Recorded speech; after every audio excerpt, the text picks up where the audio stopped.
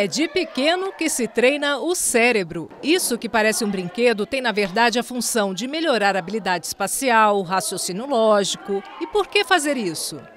Porque nem só de telas, computador, celular, deve viver uma criança e um adolescente. Pessoas que estão em plena formação. Mas como resistir a um mundo cada vez mais tecnológico? Nesta escola, que desenvolve atividades para manter uma mente ativa, a metodologia utiliza recursos que fazem parte do dia a dia dessa garotada. E uma das inovações que mais tem impactado a sociedade é a inteligência artificial. Quem nunca ouviu falar, ouviu imagem desse assistente virtual e responde aquilo que é perguntado.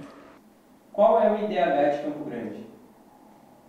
O Índice de Desenvolvimento Humano de Campo Grande, Brasil, é 0,784. Me diga o local, o endereço do SBTMS. Desculpe, não posso pesquisar isso.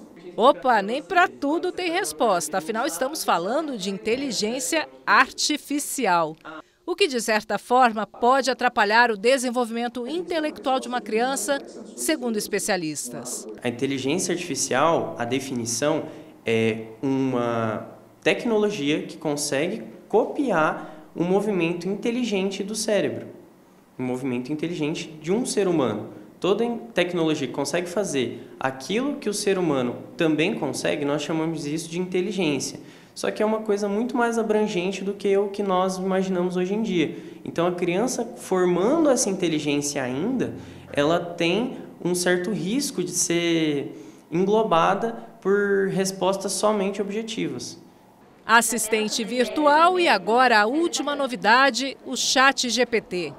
O Chat GPT, eu sei que é uma inteligência artificial que ele serve para criar novos textos. Como tudo na vida também tem os pontos negativos, né?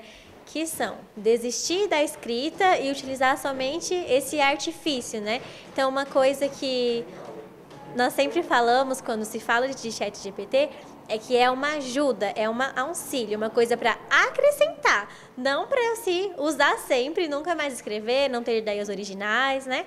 Porque senão aí não, é, o, o adolescente ou o estudante ou até o professor não vai mais ter essa iniciativa de ele mesmo escrever, né? Isso acaba não sendo muito bom para o próprio ensino e para o próprio para o próprio desenvolvimento. Né? O que pode ser muito bom também pode acender um alerta: o risco de ser engolido pela tecnologia que cada vez mais faz tudo pelo ser humano.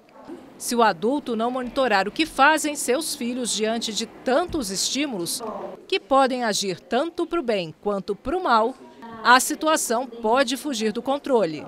Precisa é os pais estarem cientes do que, que o filho está consumindo, a quantidade de tempo que ele está utilizando, as telas, o celular, até é, o que ele está assistindo na TV, porque isso influencia de maneira diretamente o nosso cérebro, altera o humor, é, altera é, como que a criança ou, ou adolescente lida no dia a dia com esses problemas, com a resolução de problemas também. Então está tudo ligado de maneira direta. E a pergunta que fica é: até onde a tecnologia pode nos levar? Sinceramente, é um pouco assustador a gente viver isso, né? Porque olha essa tamanha inovação, né? Essa tamanha tecnologia. Nunca que eu imaginaria viver isso na minha vida, né? Então, realmente, é de se refletir, né? Onde que nós vamos chegar? Até onde que a gente vai conseguir ir?